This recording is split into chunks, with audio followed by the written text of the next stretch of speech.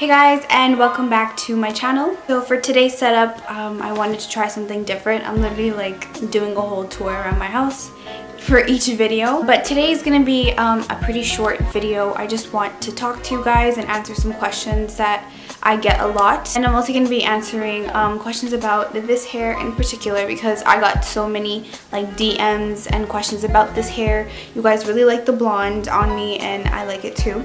So yeah, it's gonna be like a little chit chat type of video while I'm sitting on my couch. So make sure you guys give this video a thumbs up, um, comment below what other types of videos you guys would like to see from me, and make sure you guys are subscribed if you haven't already. So to start off, I'm gonna be, um, I'm just gonna tell you guys like where I got this hair from. This is from Isee Hair, and this is from their um, AliExpress store. Um, I've worked with them a lot of times. When anyone asks me what is like one of my favorite um, hair stores. I always let them know that Isee Hair is one of my favorites. Um, I just have never gotten like really bad hair from them yet. Um, I've had this one, a curly wig.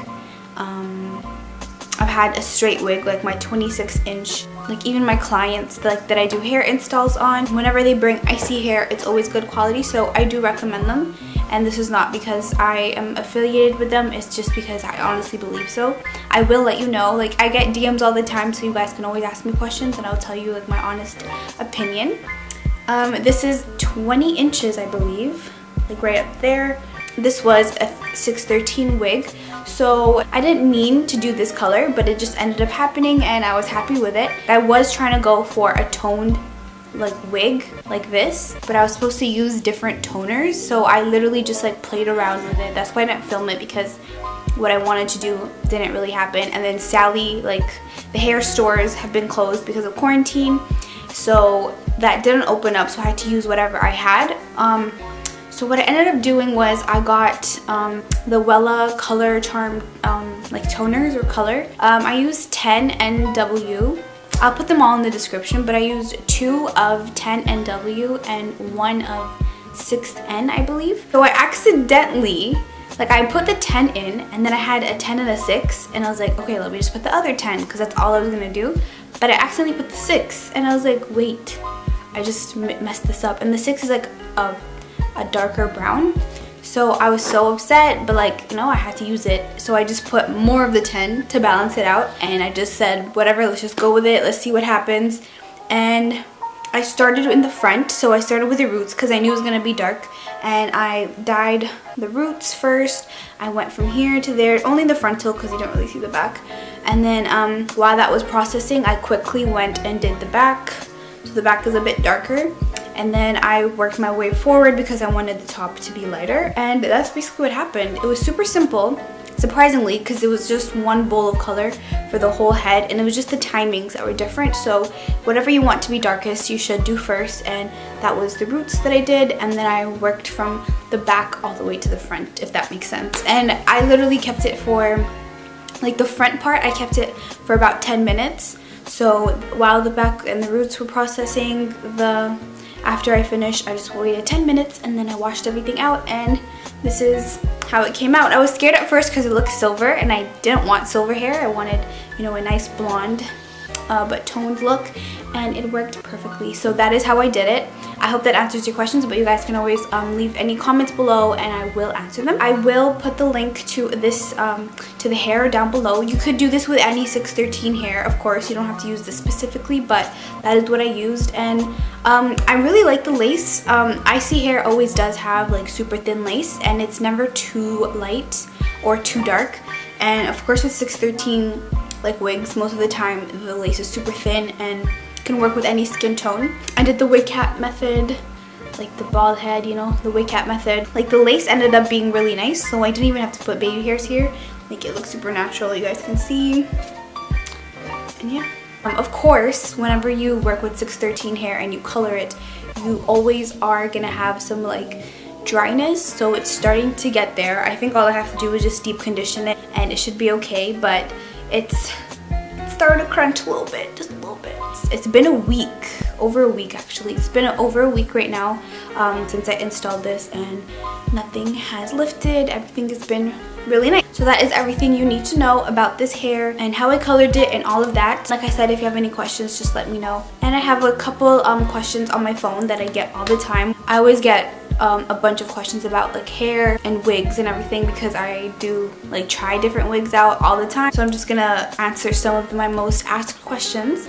And uh, the first one is, how long do you keep your wigs in for? I always get this question and I say like don't listen to me because I am working with my wigs and I'm also like a very indecisive person so I like to switch things up really quick. So I am not the best person to answer this, but if I really wanted to, I could keep my wigs on for about two and a half weeks if I want. Like this is only a week and it's still perfectly fine. I didn't have to retouch or anything. So I could do that if I want to, but because I do work like with my wigs, um, I do switch it up often or if I get tired of it, I will switch it like even in a day. I've done that before. So it always depends for me, but that doesn't mean that's what you have to do. You can do it however you like, but mostly with Ghost Bond and stuff like that, you can, you can keep it up for two weeks if you take care of it properly. So this goes into the next question is how do you take care of your wigs and do you sleep with your wigs? Like I feel like that goes hand in hand, but I always get surprised when people ask me if I sleep in with my wigs. Like, do you really think I take this off and install it every morning?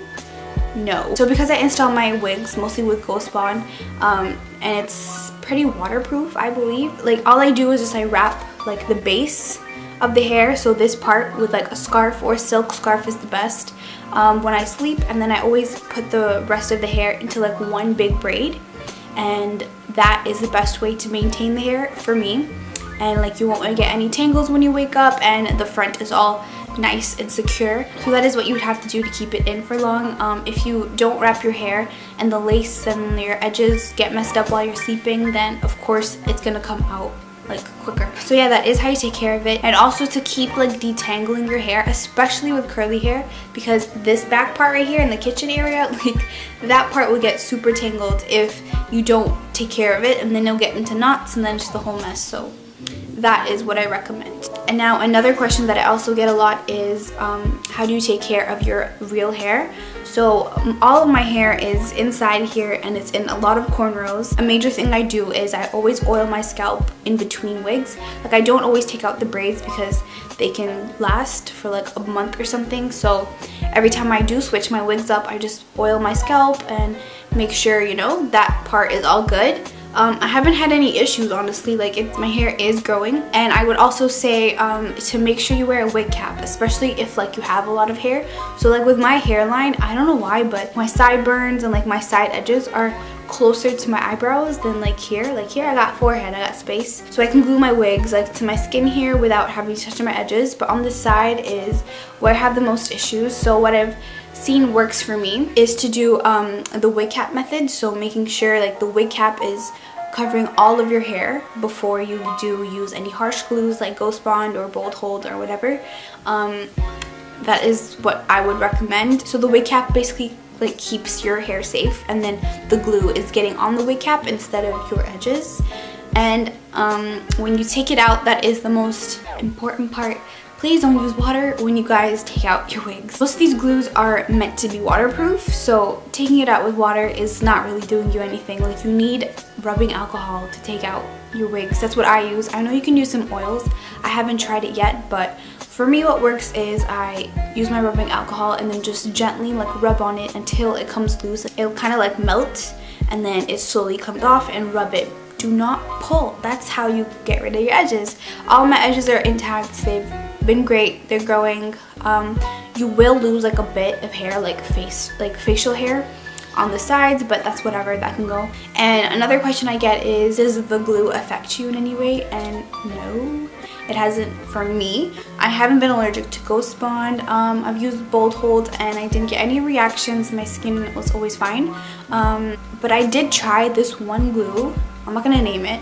Um, someone sent it to me, but it just honestly just started like itching and then um, I had like bumps and everything so I did not use that glue anymore but the glues that I use work for me doesn't mean it's gonna work for you so make sure you test it out before you run with it and uh, the last question is what is your favorite um, wig brand and I don't have one. I don't have, actually, I do. It's mine that I'm working on. Um, I'm still working on my hair brand if you guys don't know that, but I always like tell my followers, people that watch my live know this.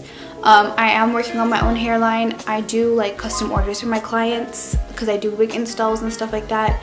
So I've been doing that, but I'm working on my website and all of that. And hopefully it comes out very soon. You know, gotta speed this up. Just a lot of work, but um, I, because I have been trying a lot of different wigs, I know what I like and I feel like I know what you guys would like. So that's what I'm working on. And yeah, I think that is my most asked questions. Um, if you guys end up having other questions, just let me know in the comments or um, you can also DM me if you have like specific questions that you want to ask me um yeah you can always dm me on instagram and i'll try and answer but yeah that is pretty much everything i didn't want to make this too long just want to keep you know nice and short i am gonna try and do more videos but i'm just super super busy and i am doing classes right now so I'm trying, I'm trying. And yeah, if you guys like this video, uh, make sure you give it a thumbs up and subscribe if you have not already. And I'll see you guys in my next video.